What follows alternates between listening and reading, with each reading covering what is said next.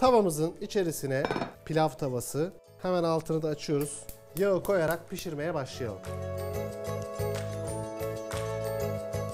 Yasemin pirincimizi de ekliyoruz. Ve kavurma işlemine başlıyoruz.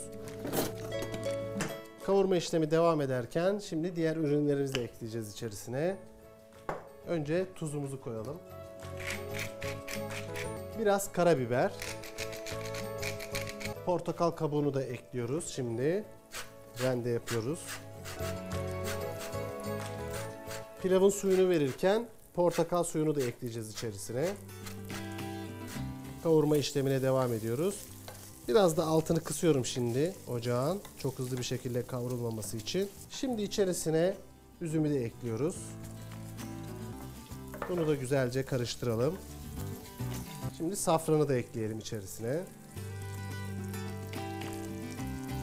Tel safran kullanıyoruz. Biraz daha şimdi kavuracağız. Ocağımızın altını kıstık. Kavurma işlemine devam ediyoruz. Bir portakal suyumuzu da sıkalım.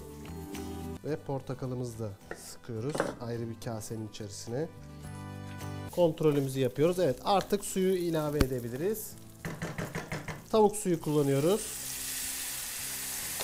Portakal suyumuzu da ekleyelim.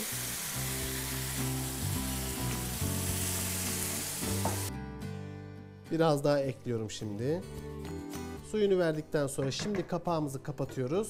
Evet bu şekilde suyu çekinceye kadar ocağın altı açık olacak. Suyu çektikten sonra da ocağı kapatacağız ve biraz daha dinlendireceğiz tenceremizin içerisinde. Arkasından da karıştırarak servise sunacağız. Pilavımız demlendi. Şimdi karıştırmamızı yapabiliriz. Harika görünüyor. Kuru üzümlerle birlikte portakal çok güzel yakışmış. Pilavımızı bu şekilde koyduk. Şimdi biraz da taze baharatlardan koyacağım üzerine. Birkaç parça dereotu ince kıyılmış.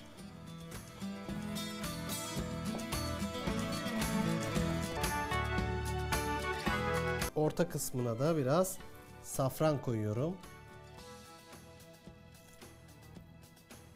E, çok az da yine zeytinyağı gezdireceğim üzerine. Ve pilavımız artık servise hazır.